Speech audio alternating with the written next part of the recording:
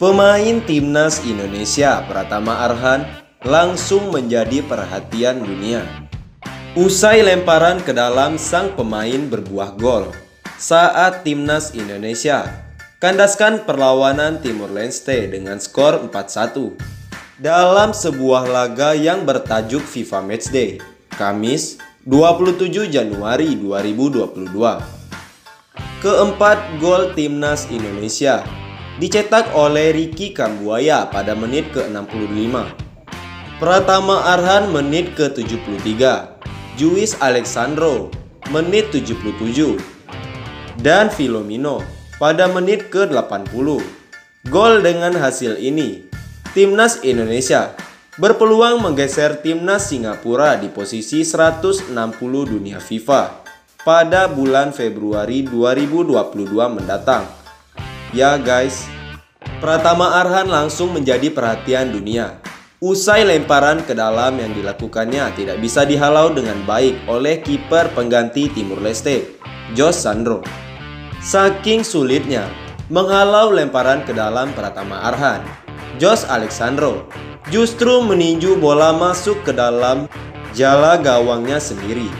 Menurut admin, bakat Pratama Arhan ini memang sangat langka Bahkan timnas Vietnam pun mencoba untuk meniru-niru gaya lemparan ke dalam Pratama Arhan. Dan tentu saja, dalam waktu dekat ini, jangan kaget kalau Pratama Arhan tiba-tiba bergabung bersama salah satu klub besar di Eropa. Oke guys, kini saatnya admin bertanya sama kalian yang khusus buat lemparan ke dalam Pratama Arhan barusan. Bagaimana komentarnya? Apakah gol tersebut murni karena keberuntungan atau memang karena murni teknik lemparan ke dalam yang dimiliki oleh Pratama Arhan? Tulis pendapat kalian di kolom komentar ya. Dan jangan lupa sertakan juga alasannya. Berbicara soal Piala AFF 2020 lalu, sangat melekat dengan ingatan kita. Sosok pemain dengan daya juang yang sangat kuat di sisi kiri pertahanan timnas Indonesia. Siapa lagi kalau bukan Pratama Arhan? Bagaimana tidak? Tampilan impresifnya dengan menyumbang satu gol dan satu assist ala skuad Garuda bersua Malaysia pada laga terakhir babak penyisian grup. Namun, tak banyak yang tahu bagaimana ia mengawali karirnya yang berawal dari anak tukang sayur kemudian menjelma menjadi pemain andalan timnas. Simak tayangan berikut untuk lebih jelasnya. Perannya di timnas saat ini dinilai cukup memuaskan oleh segelintir pecinta sepak bola tanah air. Lahir dengan nama lengkap Pratama Arhan Alif Rifai, Flora Jawa Tengah pada 21 Desember 2001 dari pasangan Sorati Inawati Ragil dan Sutrisno. Ia tumbuh dan berkembang dari keluarga yang biasa-biasa saja. Rumah sederhana berdinding kayu, beralas tanah, menjadi saksi lahirnya pemain timnas U19 yang kini membela timnas senior ini. Orang tuanya hanya memiliki sebuah usaha kecil-kecilan, yakni berdagang sayur keliling di daerah sekitar rumahnya. Tak ada yang menyangka jika sosok Arhan akan menjadi seorang pesepak bola yang begitu dialu-alukan bangsa warga Indonesia. Sering ikut sang ayah ketika mengantar kakaknya untuk latihan di salah satu SSB di kotanya. Membuat pemain yang kini berusia 21 tahun itu mulai jatuh cinta dengan sepak bola. Seiring berjalannya waktu, ketertarikan dalam dirinya kian menjadi-jadi ia pun meminta kedua orang tuanya untuk mendaftarkannya ke sekolah sepak bola Putra Mustika yang di mana sang kakak juga berlatih di sana.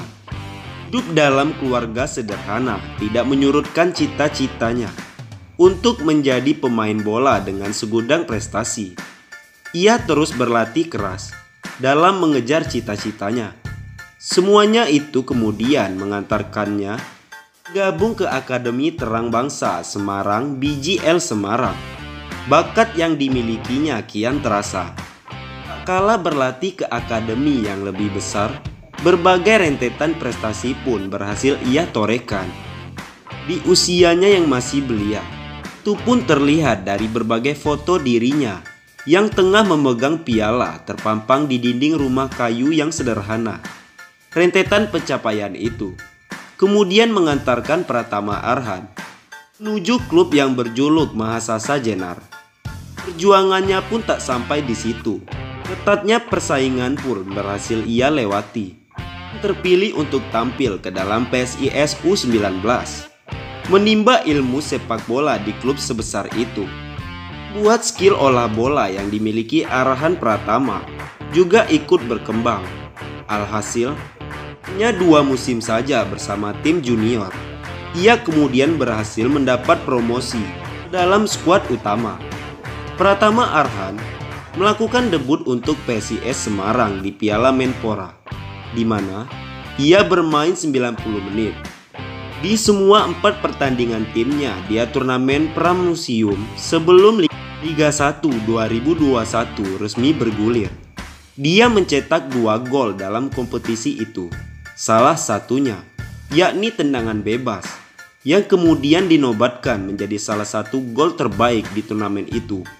Arahan juga memenangkan penghargaan pemain muda terbaik Sedangkan untuk debutnya di Liga 1 pada 4 September 2021 dalam pertandingan melawan Persela Lamongan mampu bersaing untuk mendapatkan tempat di tim yang bermain pada kasta tertinggi sepak bola Indonesia. Membuat dirinya dilirik oleh pelatih Sintayong. Ia kemudian mendapat panggilan untuk mengalami pemusatan latihan. Arhan mulai debutnya untuk tim Indonesia U19 saat menghadapi Bulgaria U19 dalam pertandingan persahabatan 5 September 2018. Ia menjadi kapten tim yang sama saat pertandingan persahabatan lainnya. Dalam pelatihan Kroasia selama dua bulan, kali ini Indonesia bermain imbang dengan tim U19 Macedonia Utara. Bermain cukup atraktif Pertama Arhan naik peringkat setelah menerima panggilan untuk bergabung dengan tim nasional sepak bola senior Indonesia pada Mei 2021. Penampilan pertamanya terjadi tatkala dirinya melakoni laga persahabatan 25 Mei 2021 di Dubai melawan Afghanistan. Pratama Arhan